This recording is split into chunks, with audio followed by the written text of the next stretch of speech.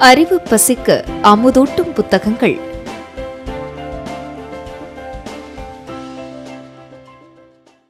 அரியவற்றை அறிய வைத்து புதிர்களையும் புரிய வைத்து அறிவையும் தெளிய வைத்து தெரியாத கலை இலக்கியங்களை தெரிய வைத்து பாரம்பரிய பண்பாட்டு கலாச்சாரங்களை பருக வைத்து பலர் பாராட்டு மனிதனை உயர வைக்கும் அறிவின் ஆசான்கள் புத்தகங்களே. கதை சொல்லிகள் இல்லாமல் போயிருந்தால் கடந்த காலங்கள் நமக்கு தெரியாமல் போயிருக்கும். காலக்கடலில் ஒளிவீசி வழிகாட்டும் கலங்கரை விளக்கமாய் வரும் புத்தகங்கள் இல்லை என்றால் நிகழ்காலம் கூட இறந்த காலமாய் மாறியிருக்கும்.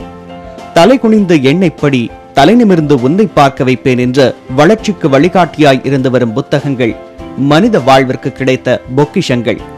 புத்தகத்தில் உலகை படிப்போம் உலகையே புத்தகமாக படிப்போம் என்று சட்ட மேதையாகட்டும் இன்றைக்கு எத்தனையோ துறைகளில் சாதனை படைக்கும் சாதனையாளர்களுக்கும் வழிகாட்டியாய் இருந்து வருவது புத்தகங்களே. நவீன தொழில்நுட்பத்தில் வந்த கம்ப்யூட்டர் கூட டேட்டாக்கள் நிறைந்து விட்டதாக காட்டும். ஆனால் புத்தகங்களை படிக்க படிக்க மனித மூளையானது ஆர்வமாய் புதிய புதிய கருத்துக்களை உள்வாங்கிக் கொண்டே அறிவை கூட்டும். ஒரு நூலகத்தின் கதவு திறக்கப்படும் போது ஒரு சிறைச்சாலையின் கதவு மூடப்படுகின்றது.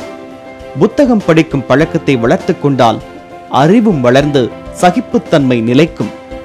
ஒழுக்கத்தினை மேம்படுத்தி மனிதர்களை நல்வழிப்படுத்தும் ஆசான் புத்தகங்களே என்பதால் அவற்றையும் அவற்றை வார்த்தெடுத்த ஆசிரியர்களையும் சிறப்பிக்கும் வகையில் ஆயிரத்தி தொள்ளாயிரத்தி தொண்ணூத்தி ஐந்தாம் ஆண்டு முதல் ஒவ்வொரு ஆண்டும் ஏப்ரல் இருபத்தி மூன்றாம் நாள் உலக புத்தக மற்றும் பதிப்புரிமை தினமாக கடைபிடிக்கப்பட்டு அதை பற்றிய விழிப்புணர்வையும் ஏற்படுத்தி வருகின்றனர் இந்நாள் ஆங்கில இலக்கியத்தின் கண்ணாக போற்றப்பட்டு கவிதையில் காதல் கொண்டு வாசிப்பில் லகித்து துன்பத்தை மறந்து தூக்கத்தையும் துறந்த மாபெரும் எழுத்தாளர் ஷேக்ஸ்பியர் மற்றும் பிரபலமான எழுத்தாளர்கள் இறந்த தினம் இன்று.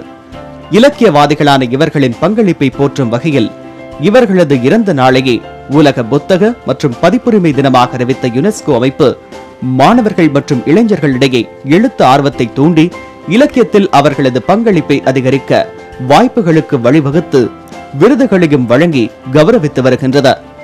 எத்தனையோ நவீன தொழில்நுட்பத்தில் உலகையே சுற்றி வந்தாலும் உயிரும் மையும் அழியா ஆயுளும் கொண்டு எண்ணும் எழுத்துமென உன்னத சுவடுகளை சுமந்து கொண்டிருக்கும் புத்தகங்களை வாசிப்பதே தனி சுகம்தான்.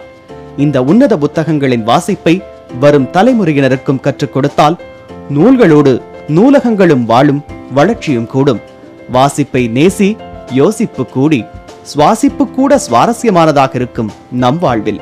லோட்டஸ் செய்திகளுக்காக நாகேஸ்வரி சவுந்தரராஜன்.